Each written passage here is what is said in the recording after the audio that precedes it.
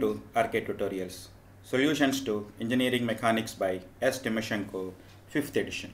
In this tutorial, we will discuss problem set 3.1 and problem number 3.1.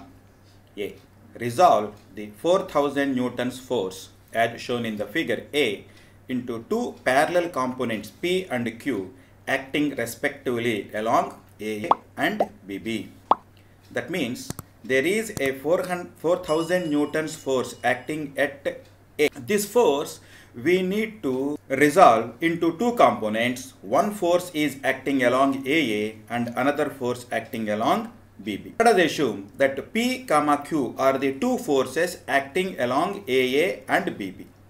The first primary condition is the sum of these two forces must be equal to the parent force 4000. That means P plus Q is equal to 4000.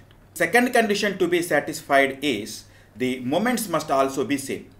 So for that we will try to take a moment about any point in the system.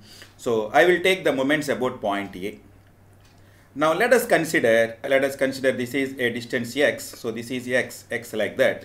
So if you take moments about point A, P multiplied with the, the total distance is 2x that must be equal to q multiplied by the total distance 3x.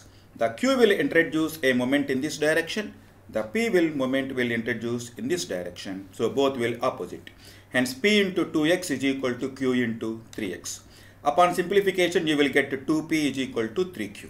There are two equations now p plus q is equal to 4000 and the second equation 2p is equal to 3q. Upon solving these two equations I can say that the force P is equal to 2400 newtons and force Q is equal to 1600 newtons. These two are the uh, answers for A. Next B. Resolve the same force into two parallel components P and Q acting respectively along BB and CC. Now the same 4000 force I need to resolve along BB and CC. So just similar to the previous one, let us assume that there are two forces P and Q. The forces are acting along BB and the forces are acting QQ. The first primary condition, the sum of the two forces must be equal to 4000, hence P plus Q is equal to 4000. And also the moments must also be satisfied. So for that, I will consider the moments about point A. If I consider the moments about point A, the Q will introduce a moment in this direction, the P will also introduce the moment in this direction.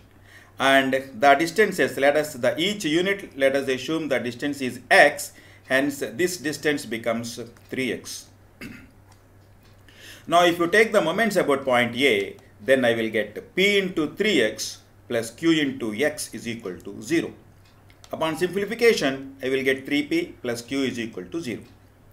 Now I have two equations, p plus q is equal to 4000, 3p plus q is equal to 0. So after solving these two equations, then I will get p is equal to minus 2000 newtons and q is equal to 6000 newtons. That means the p force will act in the opposite direction because I am getting negative. So these two are the answers for the given problem. Third one, resolve the same force into a force P at uh, B and a couple represent the couple by uh, forces acting along BB and CC. So I need to replace this 4000 newtons force P with a couple at B. There is a couple here and also the forces acting along BB and CC.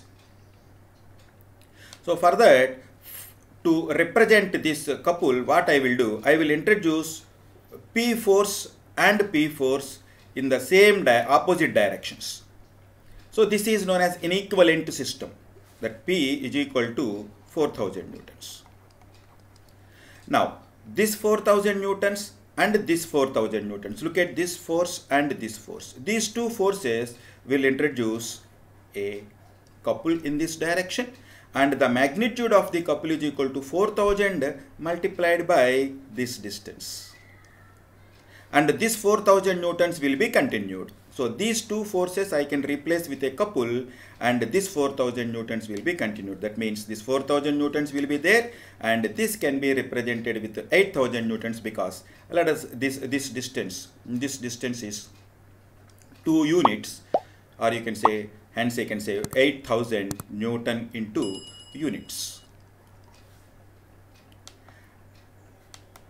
So P is equal to 4000 newtons and couple is equal to 8000 newton into units and it will act in the counter, counter clockwise direction. According to this problem, the 8000 newtons unit, this couple must be represented by two forces acting along BB and CC. Now two forces, this 8000 newtons newton unit uh, couple I need to represent with two forces. So one force I will consider as 4000 newtons and another force I will consider as 2000 newtons because these two, one force is acting in the downward direction, another force is acting in the upward direction. These two forces will introduce a couple in this direction just similar to the already existing 8000 newtons. And the distance between these two is equal to 2 units. This is 1 plus 1, so it is 2 units.